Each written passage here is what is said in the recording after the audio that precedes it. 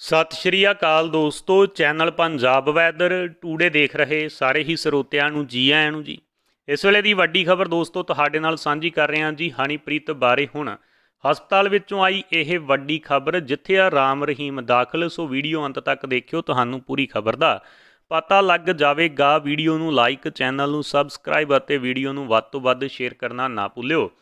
ਅੱਜ ਬਹੁਤ ਸਾਰੀਆਂ ਸੰਸਥਾਵਾਂ ਕਰੋਨਾ ਪੀੜਤ ਅਤੇ ਕਿਸਾਨਾਂ ਦੀ ਮਦਦ ਲਈ ਚਰਚਾ ਦਾ ਵਿਸ਼ਾ ਬਣੀਆਂ ਹੋਈਆਂ ਹਨ, ਉੱਥੇ ਹੀ ਬਹੁਤ ਸਾਰੀਆਂ ਸੰਸਥਾਵਾਂ ਦੇ ਮੁਖੀ ਕੁਝ ਘਨਾਉਣੀਆਂ ਹਰਕਤਾਂ ਦੇ ਕਾਰਨ ਚਰਚਾ ਦੇ ਵਿੱਚ ਹਨ।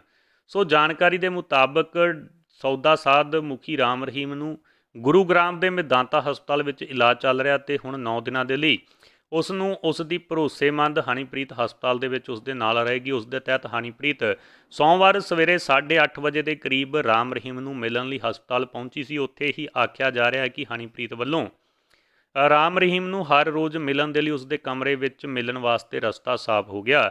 ਹਨੀਪ੍ਰੀਤ ਨੇ ਆਪਣਾ ਅਟੈਂਡਡ ਕਾਰਡ ਵੀ ਬਣਾਇਆ, ਜਿਸ ਦੇ ਜ਼ਰੀਏ ਉਹ ਰਾਮ ਰਹੀਮ ਨੂੰ ਮਿਲ ਸਕਦੀ ਹੈ।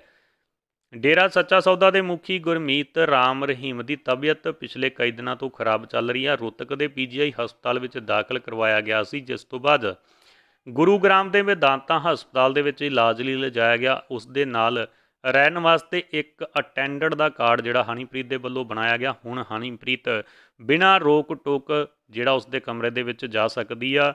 ਸੋ ਇਹ ਹਸਪਤਾਲ ਤੋਂ ਜਿਹੜੀ ਸੂਤਰਾਂ ਦੇ ਹਵਾਲੇ ਨਾਲ ਜਾਣਕਾਰੀ ਆ ਰਹੀ ਆ ਜੀ, ਕਿੰਨੀ ਕੁ ਖਬਰ ਦੇ ਵਿੱਚ ਸਚਾਈ ਹੈ ਤਾਂ ਸਮਾਂ ਹੀ ਡੱਗ- ਦੱਸੇਗਾ, ਪਰ ਇਹ ਜਿਹੜੀ ਖਬਰ ਆ ਰਹੀ ਆ, ਸੋ ਇਹ ਹੈਰਾਨ ਕਰਨ ਵਾਲੀ ਖਬਰ ਆ ਦੋਸਤੋ। ਤੁਹਾਡੇ ਕੀ ਵਿਚਾਰ ਨੇ? ਤੁਸੀਂ ਕਮੈਂਟ ਸੈਕਸ਼ਨ 'ਚ ਰੱਖ ਸਕਦੇ ਹੋ। ਧੰਨਵਾਦ।